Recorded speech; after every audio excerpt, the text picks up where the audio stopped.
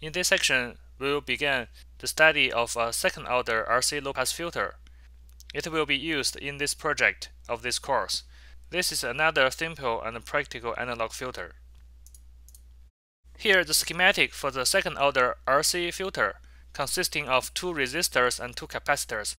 Sometimes people call it the cascaded RC filter because two RC filters are cascaded together as two stages.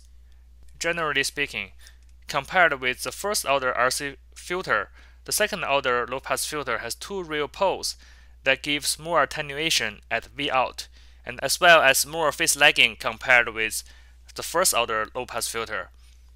Here we use similar LT SPICE setup as before. Parameters are R1 equals to R2 equals to 1K, C1 equals to C2 equals to 0.1 microfarad. Here is the transient simulation in time domain. The frequency is 1 kHz.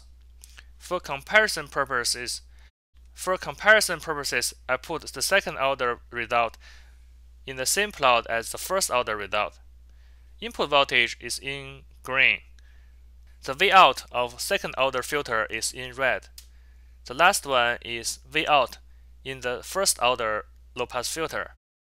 As I mentioned already, you can notice that the second order low pass filter has more attenuation at V out, so the magnitude is smaller than the first order filter, as well as more phase lagging with input voltage.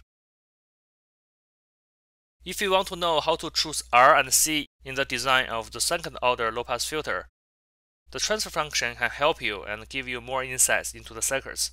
In this circuit, the transfer function g of s is v out over v in. In this course, I will not go through the details about the algebra. The results of GFS is shown here.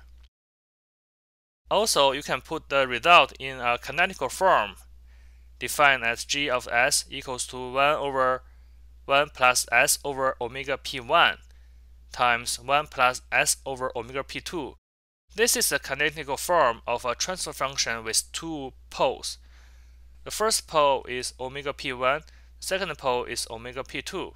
Please check the reference for more detailed information. Now we can put the whole system in AC analysis and uh, draw the Bode plot. For comparison purposes, we put the first order low pass filter in the same page so that we can compare these two Bode plots. The out is the second order RC filter output. Out underline first underline order is the output of the first order low pass filter. They have the same input voltage, which is AC disturbance at 1 volt as the magnitude. The sweeping frequency ranges from 10 Hz to 1 MHz. The parameter frequency at 1 kHz is neglected in LT SPICE.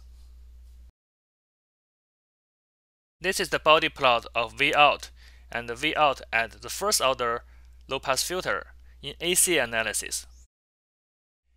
The AC analysis gives more insights into the circuits. We can see that the second order filter has more attenuation than the first order.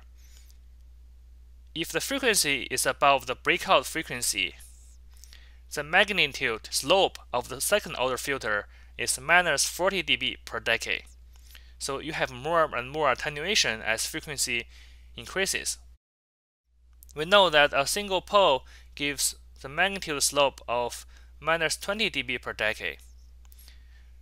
Therefore, minus 40 dB per decade is a good indication of two poles in the system.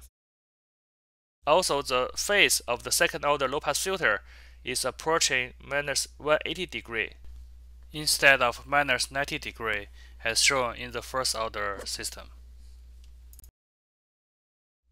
In this slide, I want to show you how to use voltage-dependent voltage source.